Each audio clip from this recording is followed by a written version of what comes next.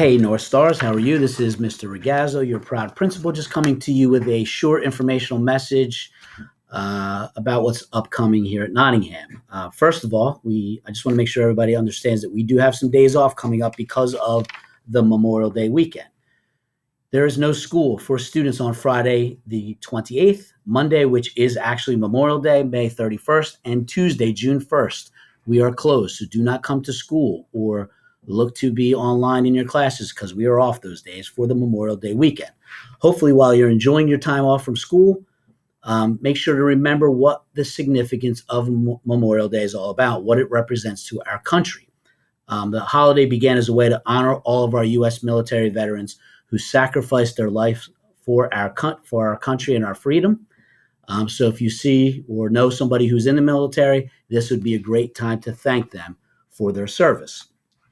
Um, second, I want to congratulate Miss Flaherty and the entire cast, crew, um, and Pit, Musical Pit, and the staff members who were involved with this incredible school show that was just put on this last weekend, Rock of Ages. It was absolutely amazing. Um, the job that our students did performing outside on the football field, in the dirt and the grass and the heat, um, and going through all of that, everything that they were faced with, you know, masked um, rehearsals and social distancing and everything that the pandemic has has brought to us. Um, all of that being said, they they put together a, an incredible show, which was something that was so positive and so needed by our community. I just thank all of you for being a part of that. Um, it was it was enjoyable. It was great. It was. I'm glad I got to witness it. If there's a silver lining in this whole pandemic, it's that it really truly showed the North Star spirit and how well our school came together to put on such a great show like that. So, congratulations to you all. Uh, finally, especially for our seniors, be looking out as there are some significant dates coming up for senior events. A couple senior fun days here at school. We have our graduation coming up, obviously, on June 18th. We have our senior awards on June 8th. Um, so there will be a lot of information for seniors. Make sure you're in the senior class Google Classroom to get all of that information to you. It'll also be on our website. I'll put messages out as well, but please be checking that.